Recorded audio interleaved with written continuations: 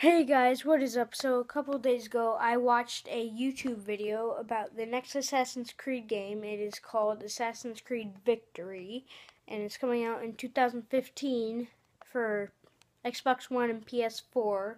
And it's based in Victorian London in maybe the 19th century. And, um, maybe Jack the Ripper. I don't know.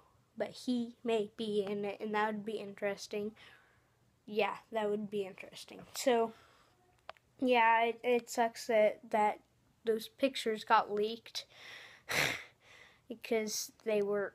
It looks like they've been working pretty hard on it. I don't know when they started working on it, but it looks pretty fun. Um, and the news about Assassin's Creed. Um Assassin's Creed Unity, um, Dead Kings DLC, the free thing, yeah. um, you don't have to have pre-ordered it.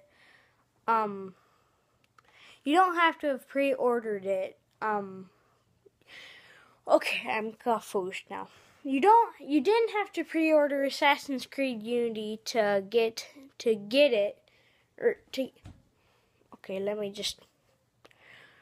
Okay, to get the DLC for free, you do not, do not have to have pre ordered Assassin's Creed Unity. So, that's what I think. I don't know for sure, but that's what I think.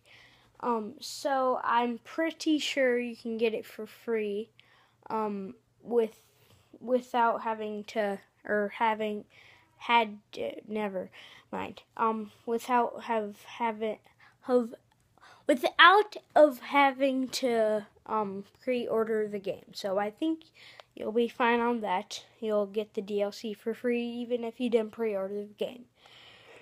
And now, yeah, that's about it. Thank you for watching this video. This is Assassin's Creed News. And thanks for watching and peace off.